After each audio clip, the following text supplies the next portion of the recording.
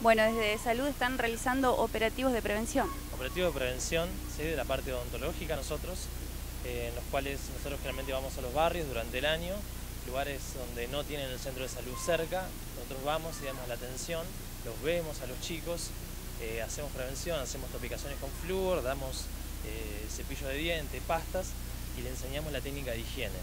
Y lo que buscamos es justamente captar al chico en una edad clave, que es cuando empiezan a cambiar los dientes, para poder efectivamente crear un cambio en ellos. ¿no?